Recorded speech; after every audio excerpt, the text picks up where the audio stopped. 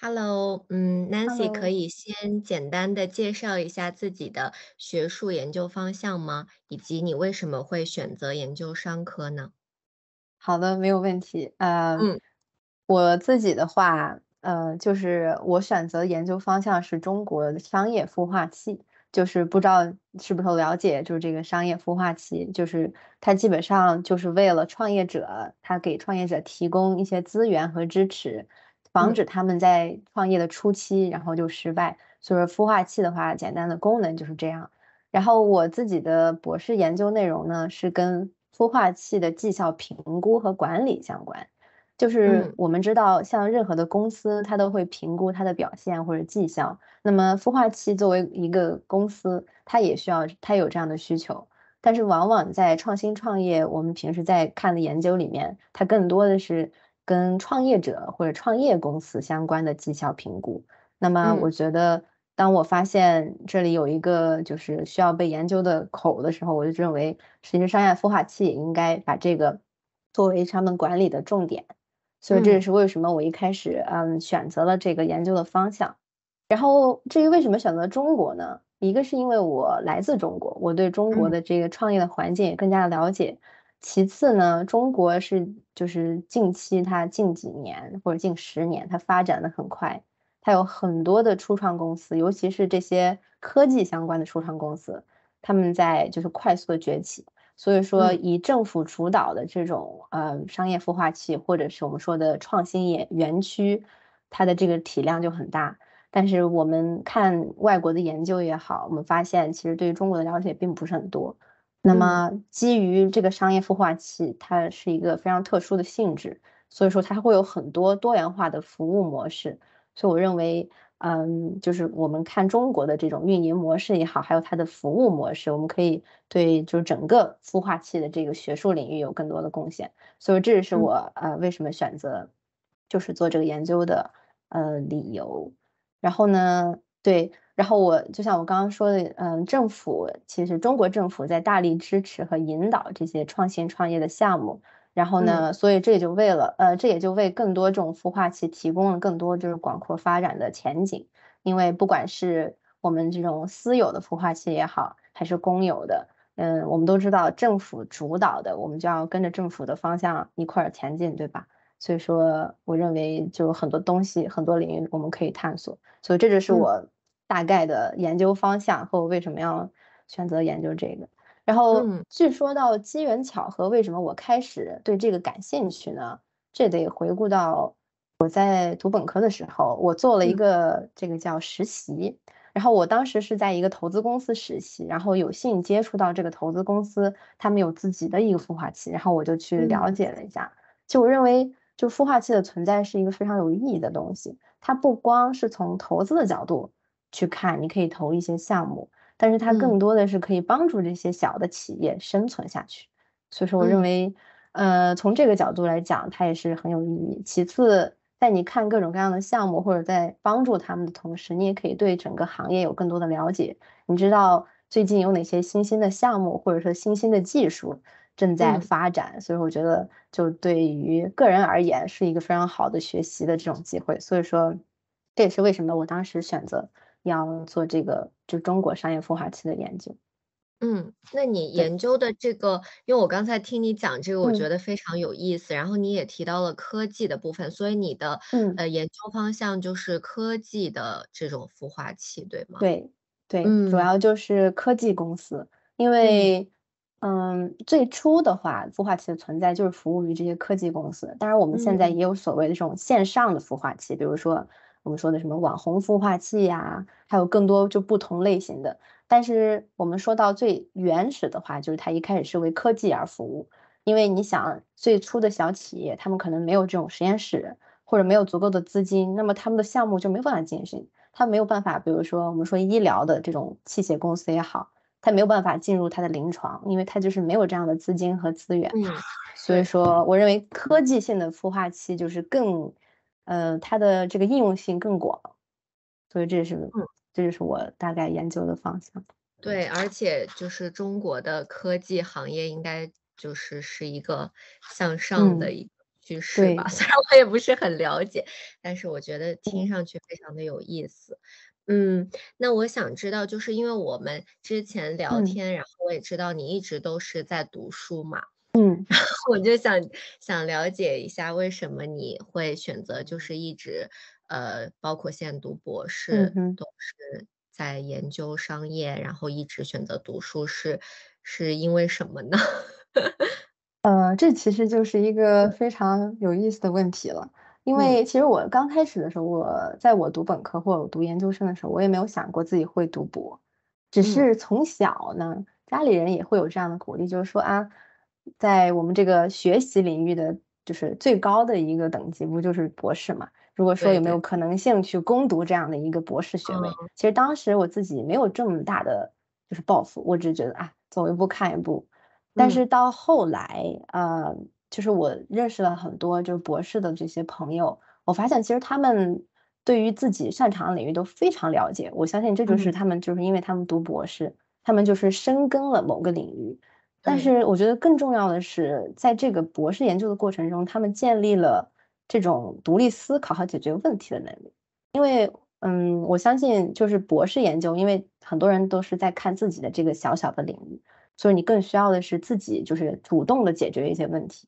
就没有人会帮助你，因为可能世界上或者说某个国家只有这么几个人在研究这个方向，所以我认为，嗯，在个人挑战上读博士是一个很有挑战的事情，所以我当时我觉得，嗯，还是很不错的，嗯。然后第二个理由呢，就是当时我读博士的时候正值是在疫情，就那会儿我也发现就是找工作很难，因为那会儿我刚刚就就是研究生毕业。就找工作也很难，然后你可能投了广撒网，投了很多简历，也没有人回回应你。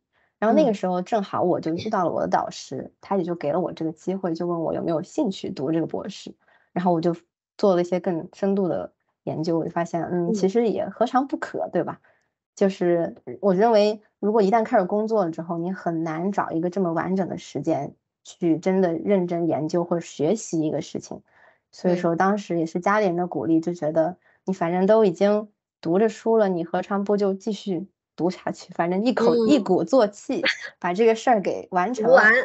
对，嗯。然后，对，这就是当时也是因为有家人的鼓励。然后另外一个层面，我觉得读博士的话，可能会给我自己一些更多就是在嗯就业上的可能性吧。就比如说我们说到的，你读了博士，你可以去高校，比如说你可以进入学术界。或者你也可以进入业界，就是，嗯，我们现在都知道，对更多的选择，我觉得这个是，嗯，我觉得另外一个方面，我为什么会选择继续读书？嗯，对，我觉得特别好，就是你的家人可以给予你这个支持，因为，呃，我觉得很多，反正我身边好像很多的那个家长，他们都会说你别。就是一直读书啦，快点工作吧什么的。那我所以我觉得你还是挺幸运的。嗯，那就到了下一个我想问你的问题。刚才你也有提到一点，就是说之后的选择会变得更多嘛？那我想问问，就是你接下来的计划是，比如说你读完博士之后是想继续在学术领域研究呢，还是想去就业这样子？嗯，其实目前的话，我没有一个特别清晰的规划，所以说第一步当然是先完成我的学业，就是我能够顺利毕业，然后我们再说之后具体的发展。那无非就是两个方向，要么就是继续留在学术界，然后另外一个选择就是，嗯，比如说进入业界。嗯，我觉得这个得看到时候的机遇，因为我不否定就是在学术界的好，可能大家都觉得，嗯，学术界我可以更加深入的。就继续专注我这个领域，然后做一些学术，然后包括我们说大一点的，就是教学。我可以把我自己获得的知识或者我的研究传授给我后我的后人，或者说，嗯，对后面的学生有更多的启发。当然，这就是进入了学术界。但是，我认为其实进入业界也是一个很好的方式，因为就是已经在象牙塔里待了这么多年了，你总得把自己学到的东西和技能在社会上给运用出来。然后就像我刚刚说的，如果，嗯，如果就是读了读了博能够更有竞争力的话，那我还是愿意去尝试一些就是业界的这些工作。然后就像我刚刚说的，中国其实孵化器这个产业，它是在一个新兴产业，它现在是有很多的机会。我认为，这也何尝不是一个对我自己的就是机会去，就比如说进入中国的这种孵化领域也好，或者说哪怕进入这些高新高新区呀，这种我认为都是有可能的。所以我现在没有一个特别的计划，就是走一步看一步的状态。嗯。那呃，所以你之后也有可能会选择回到中国来工作发展，是吗？哦，我还以为你会想要一直留在英国。我觉得，因为我来了很久了，我觉得，嗯，我还年轻，我认为可以在中国继续拼搏一下，以及其实这么多年也远了家人，我觉得这个是更主要的问题。就我还是想要在我有能力的时候跟家人多待在一起。我认为英国它是一个非常好的国家，但是我觉得可以考虑以后吧。而且基于我自己研究的方向，我认为就是回国发展会可能性更大一些，以及我更能就是应用性更强。嗯，这是我我的认为，我大概是这么想。那也很不错，其实。而且你因为你的方向刚好就是中国的方向嘛，其实而且我觉得科技方面。国内确实还，我包括我自己认识的很多在英国做科技行业的很多朋友，他们也都选择回国了。嗯，对，确实是这一点来讲，我觉得国内机会更多，因为它正在发展，它需要这样的产业或者这种新的科技去跟国别的国家竞争。但是对于英国来讲的话，它已经是一个发达国家，所以说可能上升的空间就更小一些，这是我的片面理解。所以说，也这也是为什么我身边很多朋友，包括做工科的呀，或者是做这种，嗯，做什么生物呀，跟医学，他们如果要创业的话，他们会回到国内去创业。嗯，一个是可能国内的资金这种就是补贴政策很多，现在不是鼓励各种企业在某某个比如说省份落地，然后会给补贴，这也是为了，嗯，就是我们讲的内部循环，要把自己国家的这些科技也好，或者这种能力提升起来。这样才能够实现这种内循环。对我认为国内工好专业呀，没有没有，我认为国内的机会还是很多的。嗯，那很，那你现在是还有多久读完博士呢？现在是第几年？现在是第三年，应该还有一年半吧。如果幸运的话，一年半就出关了。加 油加油！谢谢。好的，我没有什么特别还其他的问题啊。嗯，好的，那就换我来问你了。好的，来吧。好的，让我来找出我的问题。好的，行。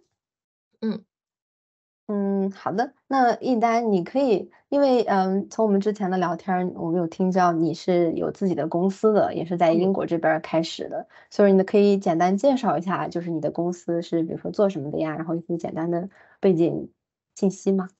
好的，嗯，我的公司叫做 YD Music Marketing，YD 就是我的名字一丹啊。然后其实这个名字就是很直接的告诉大家，我的公司就是做 music marketing 相关的东西。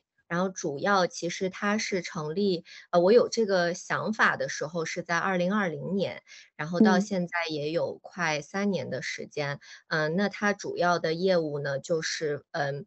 是一个中英音乐的这样的一个沟通，然后我主要是负责把一些英国的艺人他们呃在国内的宣传，这样线上的一些宣传的工作和代理，然后以及呢，我之后还会想要把一些国内的艺人，呃，在英国包括在欧洲的一些宣传，然后演出这样子，大概就是。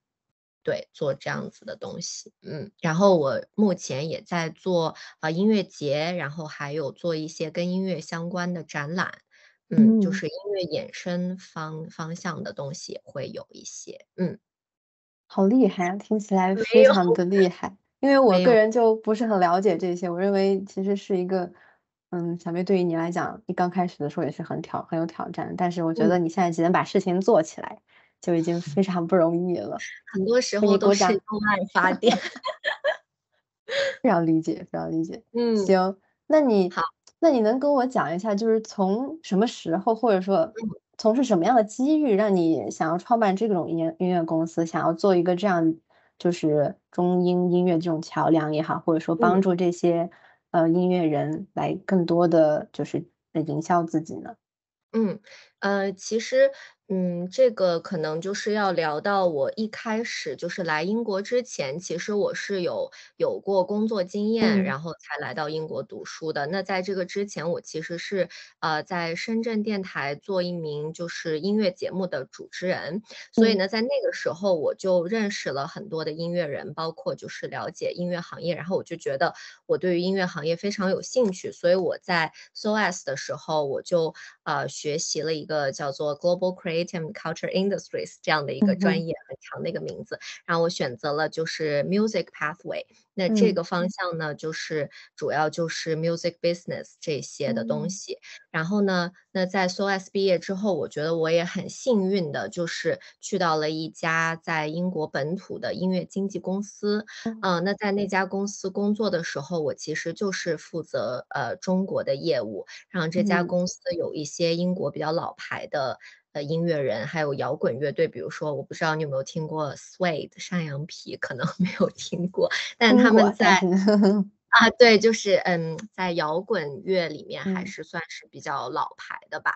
然嗯。后我就有帮他们在做一些工作，然后我就发现，呃，在英国的这个音乐行业，其实对于中国市场他们还是非常看重的。而且嗯。其实，嗯，我觉得当时那个那个时候是一八年的时候，其实几乎没有什么，呃，中国人在英国在做这个事情。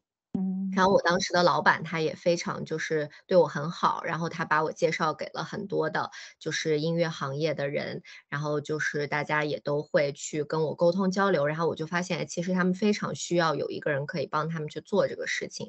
所以我嗯。就在想说，哎，那我不如就是自己，呃，成立一个公司，然后来来可以就是帮不同的公司去做这个业务。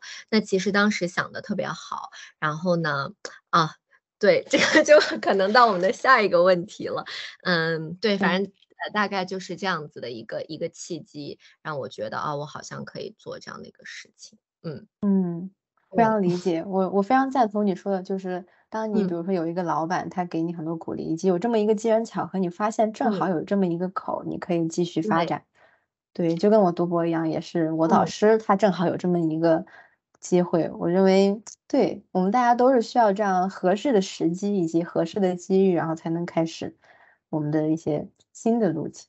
嗯。行，那对，对，你也告知了我为什么你 喜欢在就是希望在这个在英国创业。那嗯。么下一个问题就是对，像您刚刚提到的，有什么嗯。让你印象非常深刻的困难吗？在你创业的途中。对，这个就要聊到就是因为刚才我也提到，我其实最开嗯。始有这个想法的时候是在二零年嘛，然后，嗯。呃，在疫情之前。然后当时我就是因为我非常喜欢英国的这个环境，然后音乐各个方面的环境，然后刚好我们学校就是会可以，呃，有这个 Startup Visa 的这样子的一个，嗯。呃，机会。所以我当时就是，呃，写了 BP，然后有这样一系列的动作。但是这一切都是在疫情之前，然后我也其实我当时觉得我很幸运，就是在那个疫情之前，他们就通过了我的这个，然后学校可以 sponsor 我 Visa。但是呢，就是疫情就来了，所以呢，这个疫情真的是对我的这个公司可以说是带来一个巨大的打击，我觉得这个是我嗯。遇到最大的困难。因为最开始我是想做演出嘛，就是我嗯。想做中英的演出，然后把他们带。来中国，把中国的带过去。但是因为这个疫情完全就是没有办法实现，所以，呃，在之之前的两年，我几乎都是做只有就是线上的东西。呃，嗯。然后那个 其实也非常就是比较少吧，嗯，可能也就只有一两个艺人这样子。嗯，所以这个是我的一个最大的困难，但是好在现在已经，呃，算是结束了吧，然后也希望嗯。之后可以越来越好。那确实是非嗯。常好。对，这个疫情确实给所很多公司都带来了这种嗯，类似的挑对，战。但我认。为现在我们又重见光明，所以说我们有很多可以期待的事情。嗯，我认为。一切都会好的，而 OK。且我觉得就是我非常感谢我的学校 SOAS 给了我 巨大的支持，就是。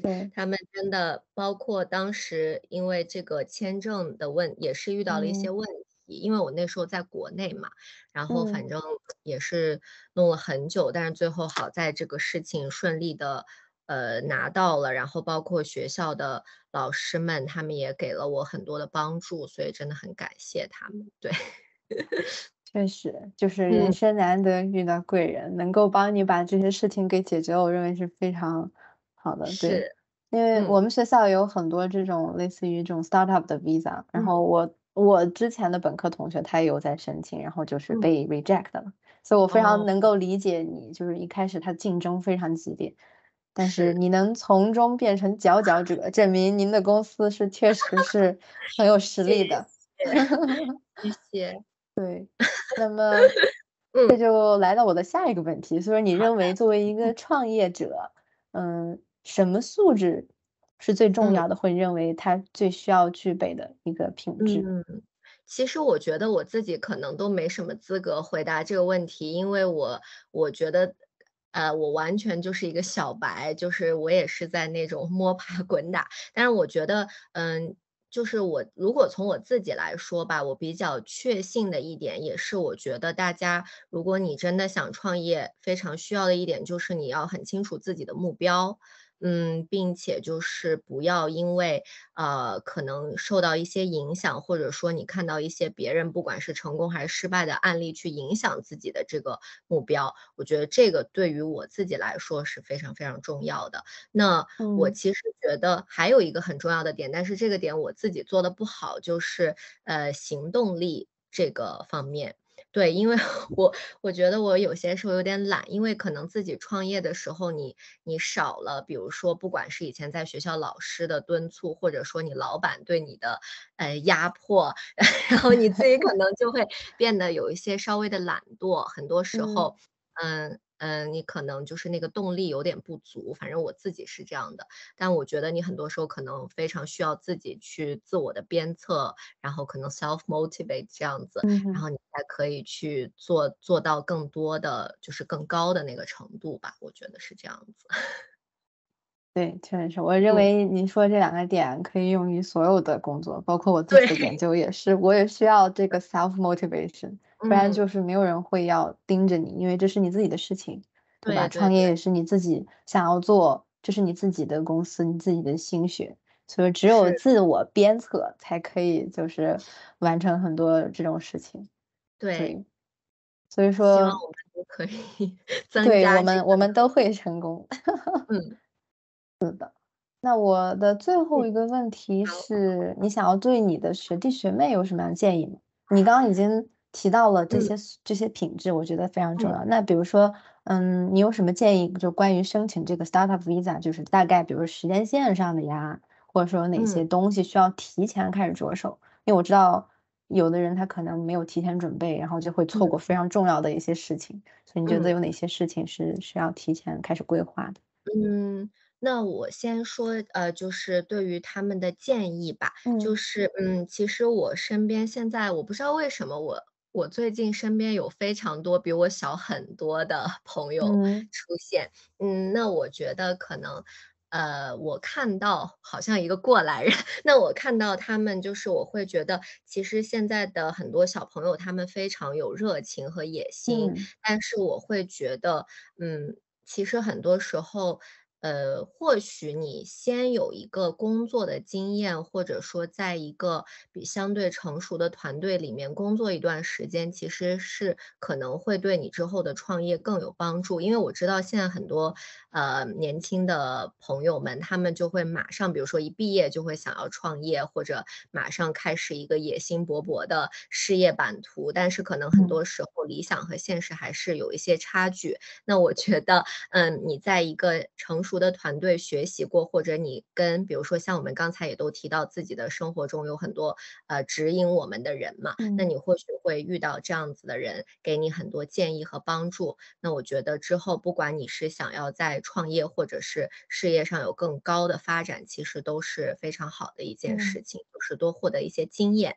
嗯，那。其次就是再到这个 startup 的这个东西，其实据我所知，好像现在这个签证它又变了，就是好像哦，现在。它好像没有了这个 startup。因为，呃，我我的那个时候它是 startup，然后变成一个 innovator，哦，然后对，对，它现在好像直接就是只有 innovator 了，好像没有 startup visa 了。所以这个具体的我也不是特别的清楚，但是它好像每年都在变。但是，呃嗯。，Frida 她她跟给我的信息，我觉得其实，呃，好像会变得更就是嗯，我觉得更怎么讲，没有那么以前那么复杂，这个东哦。西。对，因为像比如说我的 startup，它之前如果你想转成 innovator，它首先资金上就会有一个还嗯嗯。蛮高的一个一个东西你要达到。现在他把那个资金的需求已经取消了。哦，对。所以这个对我来说是一个巨大的好消息。对，然后那他可能就是看你的 business，如果真的有这种潜力的话，可能他。真的就可以给你 innovator，然后可以拿到永居。啊什么的。对，所以大家就时刻 关注那个 gov 那个网站，对。gov.uk.com。对，天天都在那上面对。遨游。对，确实是。嗯。但我觉得不管不管你是申请就是 innovator 还是 startup 也好，我觉得最嗯。关键是你得把你的就是商业的 proposal，你的这个商业计。划书得写好。